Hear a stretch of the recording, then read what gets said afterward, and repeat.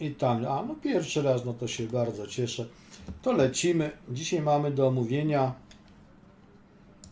przedostatni rozdział, zakończenie przedostatniego rozdziału. Zobaczymy, czy nam się uda.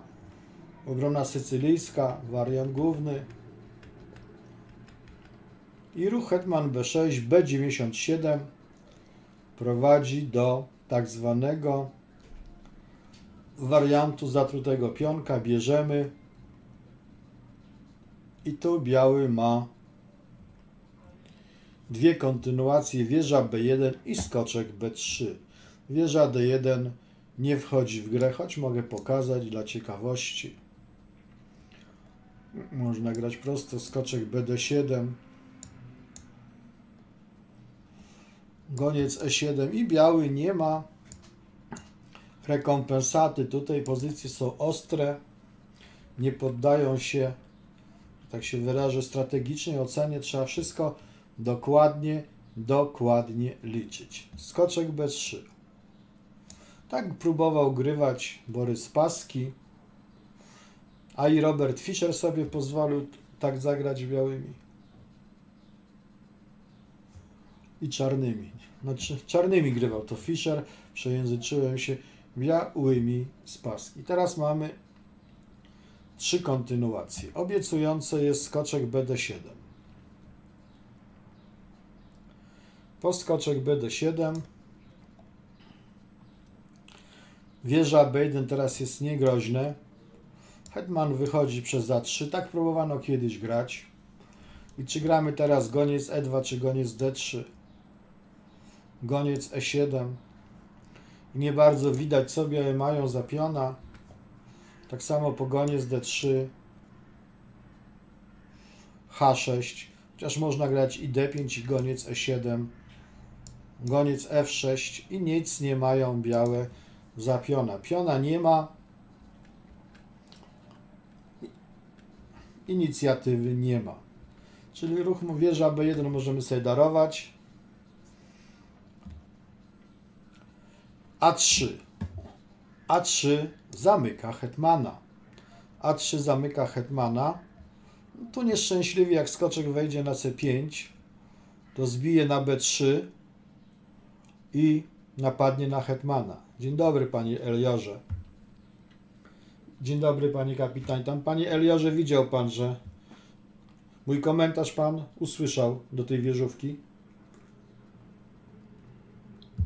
Pan bardzo dobrze grał, tylko tam w tej wieżówce na sztuczkę taktyczną. Pan potwierdzi, że pan słyszał, pan powie, nie, nie słyszałem, ale może zobaczy. Teraz uwaga, no wieża B1, skoczek bije B3, wieża bije B2, skoczek bije B2, król bije D2. No to się cieszę, bo tak zawsze się staram wytłumaczyć, to chodzi jak pion stoi na skos względem króla.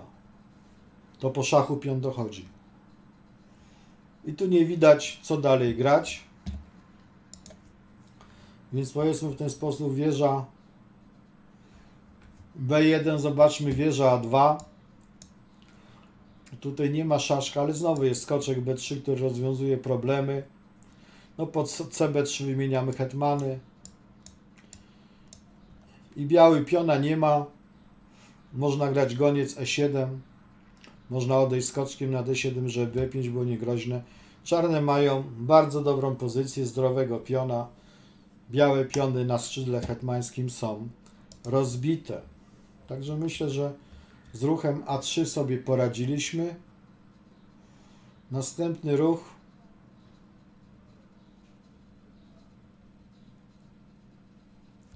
Następny ruch może być ruch goniec E2. No goniec E2. Można grać goniec E7, może hetman powrócić. No goniec F6 złe. Roszada. Goniec E7. Goniec F3, nie ma teraz ruchu B5, ale spokojna roszada. Jak mówi do mnie o takiej sytuacji znajoma mistrzyni, białe oddały piona za przysłowiowe świeże powietrze. Goniec przyblokowany. Nic złego się nie dzieje.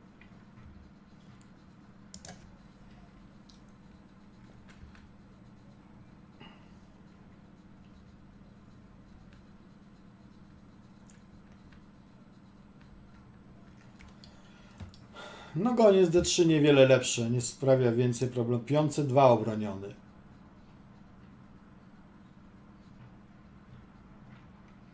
Tu można wyjść hetmanem, można kończyć rozwój, no biały musi zrobić roszadę krótką. Z tymczasowej obecności hetmana w, w tym miejscu nie ma żadnych problemów. I mieliśmy to, co mniej więcej przed chwilą. H6. I nie widać, co białe ma. Goniec bije w 6 jeszcze gorzej. Nagle wisi na C3, skoczek nie może przyjść na D4. Ruch E5. Bijemy i, i jest dobrze. Spróbujmy jeszcze innej kontynuacji. W dziesiątym posunięciu białych. Goniec bije w 6. A można odbić pionem, pię- przejść do tych struktur Rauzerowski, który z dużym powodzeniem grywał mistrz świata Botwinnik. Wieża B1 niegroźne, goniec C2 bardziej popularne. Można grać H5. Może hetman wrócić do bazy.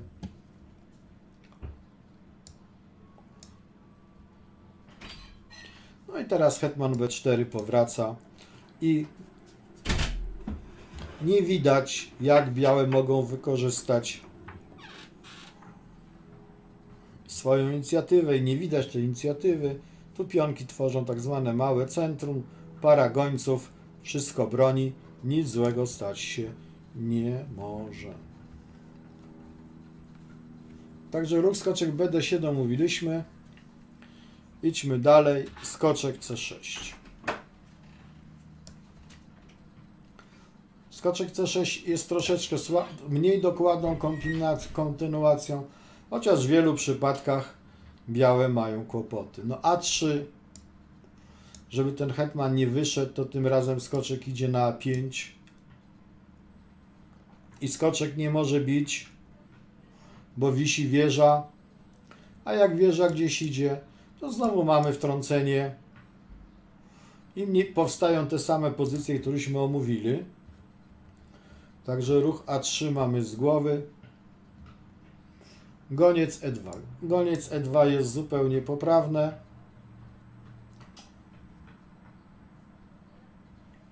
Można teraz grać D5. A można spokojnie hetmanem powrócić. I nie bardzo widać, jak biały ma, jak to się ładnie mówi językiem szachowym, rozwijać inicjatywę.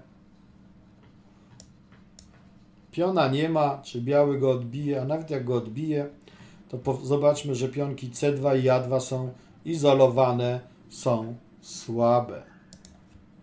Się cofniemy. Mhm. Można grać też goniec E7, no naj- najbardziej takie spokojne i po roszadzie. Hetman wychodzi przez A3 i otrzymujemy pozycje podobne do tych, co widzieliśmy. Także myślę, że goniec E2 możemy sedarować. Wieża B1. O. Wieża B1 wygania hetmana tam, gdzie on chce iść, więc to jest korzystne dla czarnych. No i teraz trudno coś dobrego. Goniec D3, goniec E7, no F5 to F5, roszada i H6 daje czarnym wyraźną przewagę. Bicie złe, odejście jeszcze gorsze, bo następuje typowa kombinacja koniś bije E4, goniec H4. Jak policzymy piątki, to tak jakby białe miały dwa mniej, no bicie na C6 to aktywna figura skoczki nie atakują, a po F5 Białe sobie zrobią roszadę, niczym się nie przejmują. Fe. Goniec może wyjść. Hetman. Nic nie widać złego, co może spotkać białego. Także goniec H4. Goniec F6 też niewiele pomaga, po goniec F6 jest problem z polem D4. C3, czyli typowe problemy z czarnymi polami przy braku czarnopolowego gońca.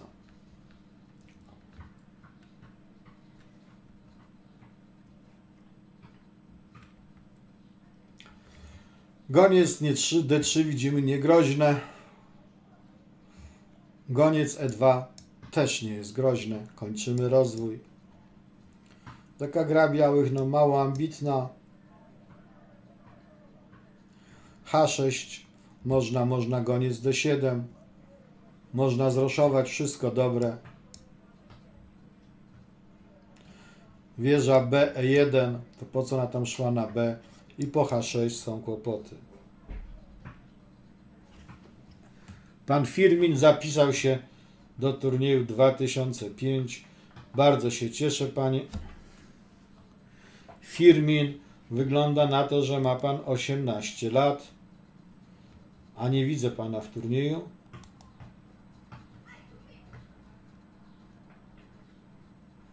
Nie widzę pana w turnieju jeszcze. To gdzie się, może pan się do klubu zapisał, a nie do turnieju, panie Firmin. A to może być jakaś, jakaś różnica może być. Może to być całkiem istotna różnica. W każdym bądź razie, chyba że pan się nazywa Waak Plaer albo Col- Coltrane, bo może pan się i tak nazywać. No, do, no dobra, wracamy do naszej gry. A. Waak, Waak Plaer. Bardzo dobrze, pani firmy się cieszę. Jakow to po naszemu Jakub. Bardzo się cieszę. Leci, tu jeszcze coś zobaczę, czy to ktoś mi coś się odpisze. Aha. Lecimy dalej. Tu możemy tu powrócić. A światła nie zapalimy, że światło zapalimy ciemno się garnia. Słońce zaszło za liście, mam więcej liści i za chmury zaszło. Więc tu muszę, muszę, muszę.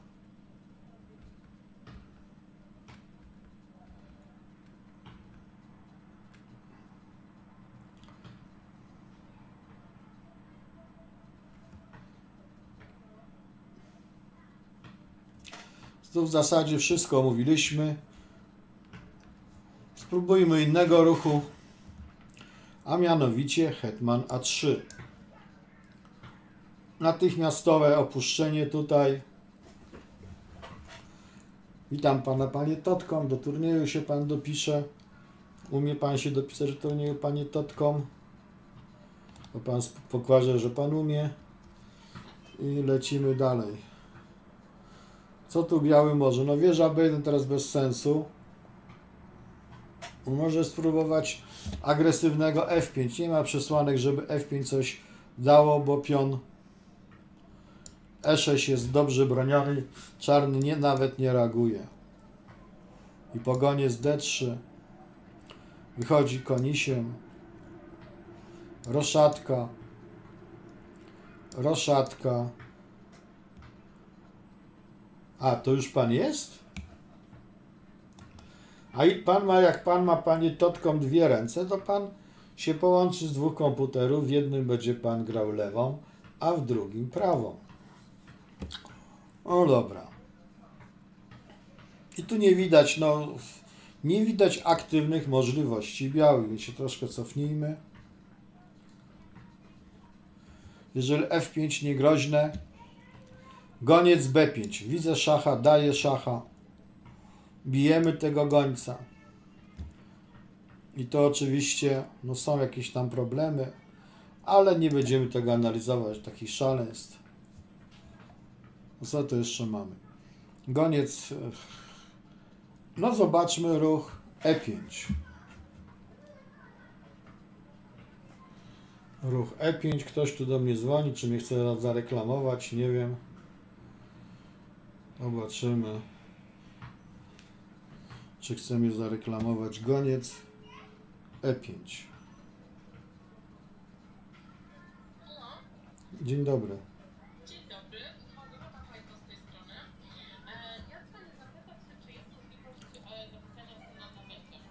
Tak, proszę go w środę przyprowadzić.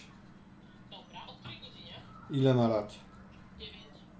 Na, na 16.55. No, 16.55. Dobrze, czy jest możliwość, żebyśmy się spóźnili chwilę, bo ja rozumiem, że za 10 minut nas na pracę. Dobrze, dobrze. Dobra, proszę się spóźnić. Proszę do mnie zadzwonić przy samym przyjściu, pani mogła trafić, to pani pomożemy.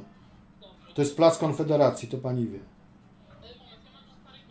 Nie, Plac Konfederacji 55. Was Konfederacji 50. Pani zadzw- zadzwoni w środę. Do widzenia.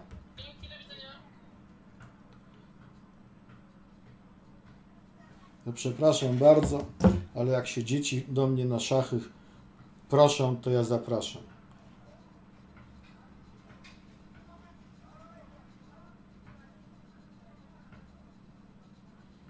Jakob Ben Alfi Jakobsen. No, Ben to znaczy właśnie tak. Niektórzy piszą Bina to. I, to, I widzicie, kobieta mnie zagadała i straciłem głos. I straciłem. No zobaczmy ruch gwałtowne E5. Na gwałtowne E5 bijemy tego piona. Po odbiciu musimy gdzieś odejść konikiem. I typowe dla, jak dla wariantu poługajewskiego było odejście takie i tu też jest ono dobre. Te warianty mają troszeczkę wspólnego. Mają teraz nie widać. No, skoczek D4 cienkie. Pogoniec B4 biały dziękuję. Co tu jeszcze może zagrać? Wieża D1 z nadzieją, że skoczek odejdzie i damy mata. Znowu pogoniec B4 są kłopoty. Zobaczcie, to biały ma kłopoty. No goniec B5 to nie będziemy nawet patrzeć. Skoczek E4. O! Chcę wejść tu, chcę wejść tu. I mamy taki spokojny resurs. Skoczek C6. Skoczek bije 5, ponieważ skoczek broni pola D8. Nie ma Maciusia. Nie bardzo widać, co biały może bez tych dwóch pionków. A znowu chce goniec przyjść na B4. Także to sobie darujemy. Czy można powiedzieć, że E5 mamy z głowy? No to zobaczmy teraz ruch goniec. Goniec E2. Tu przypominam, że rzeczywiście prowadzimy otwarte, znaczy ja prowadzę otwarte zajęcia szachowe dla dzieci i dla większych dzieci, czyli dla dorosłych. W środy. A, przeczytałem Michał. Dzień dobry, panie CK, bo do tej pory to widziałem go pana w komentarzach. Się bardzo cieszę, panie CK.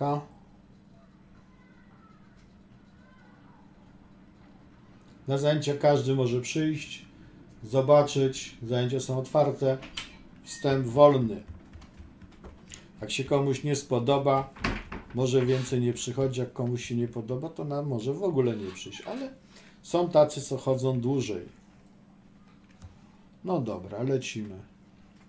I co tu może czarny grać? No, znowu ma kilka dobrych ruchów. Goniec E7, najspokojniejsze. No i po roszadzie. H6 bardzo dobre, ale konsekwentne skoczek C6 najlepiej kończyć rozwój, zroszować.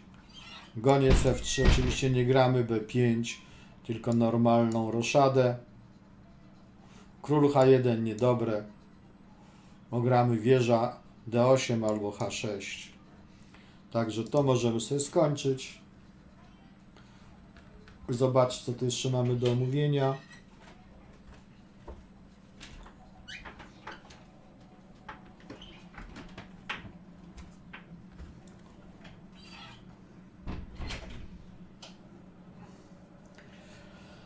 E5 mówisz, no zobaczmy goniec D3.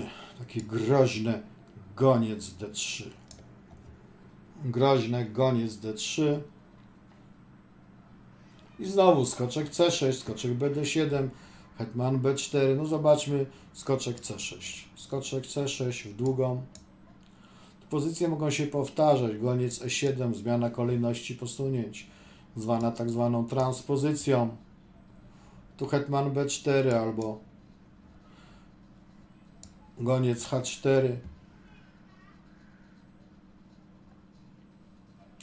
Goniec D7, roszada, wszystkie te ruchy są bardzo dobre. Biały nie ma nic.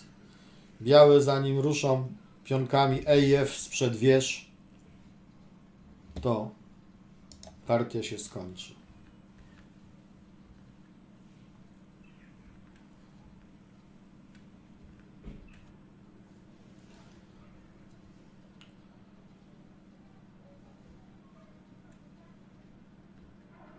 No zobaczmy wreszcie goniec F6. To chyba ostatni ruch, który zdążymy omówić.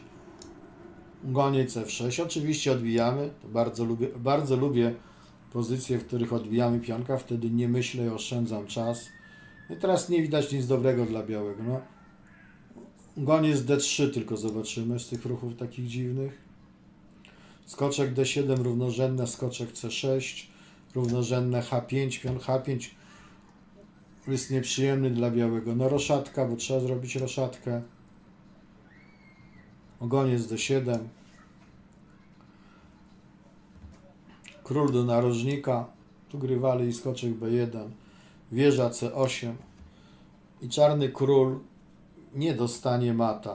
A mamy parę gońców, a piona też mamy. Przypominam, żeby cały czas tego piona mamy. Zobaczmy goniec E2 główną kontynuację. Znowu, tutaj jest problem z tak zwanym wyborem, bo jest dużo kontynuacji w dobrych. Byłem w Warszawie w ten weekend, ale nigdzie pana nie widziałem. No to panie, panie C kultura.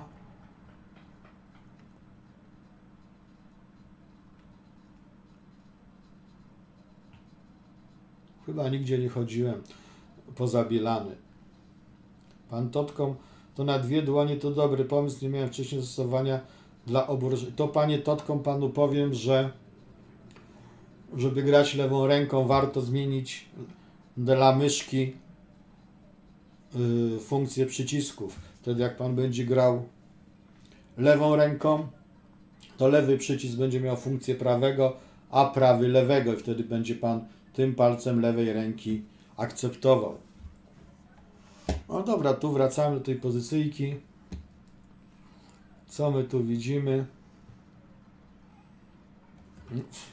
No wszystkie ruchy są dobre, no co ja na to poradzę? No, że wybór jest taki, jaki jest, no można grać goniec D7. No goniec E7, spokojnie. W długą. H5, no skoczek D7. No co? Hetman D4? Źle. Skoczek C5 i, i, jak nam zbije, to się pion D dołączy do pionów hetmańskiego skrzydła. Jak nam nie zbije, to też źle. No to hetman D4 źle. To co może być? Król H1. B5 w ogóle się nie boimy. F5 znowu się nie boimy. H5 jak dojdziemy pionem do H3 postawimy gońca na dużej przekątnej to damy mata na G2.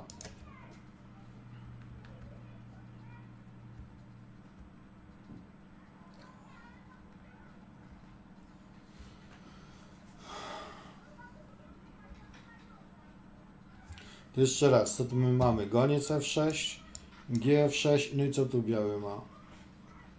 A, Hetman D4, no goniec D3 zobaczmy. Goniec E2. No na goniec E2 gramy H5. O, to zobaczmy. H5. No, biały roszuje, bo lubi. Mamy skoczek C6, ale jeszcze lepiej skoczek D7. Choć i goniec E7 jest dobry. Tylko tu trzeba być świadomym, że czasami króla schowamy na F8. I nie będzie on roszował. Król H1, żeby nie było szaszków. H4, proszę, wchodzimy jak w masło. Wieża F3, to się z niego śmiejemy. A więc nie będziemy się śmiać, bo to nieładnie z kogoś się śmiać. No, H3, no to się osłabił. No to goniec E7, teraz możemy już wieżę przestawić. wieża AD1 i możemy spokojnie kończyć rozwój. Pewnie się rozminęliśmy.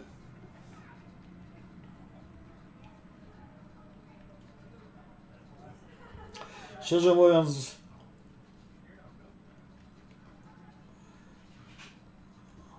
sobotę byłem senny i w niedzielę tak jakoś lekcje miałem. W sobotę, w niedzielę nie mam lekcji. W niedzielę byłem senny i tak trochę więcej sobie podsypiałem, więc trudno było się rozminąć. Cofamy się. Że można powiedzieć,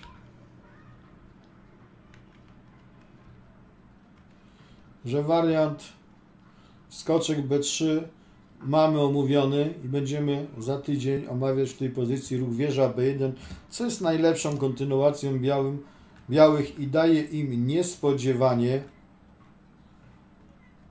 wyrównanie. No dobra, to zamkniemy. To zamkniemy.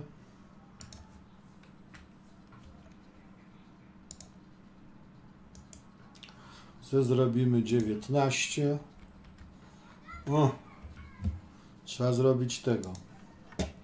Szachownicę jakąś znaleźć. No jest jakaś szachownica, ale to nie to.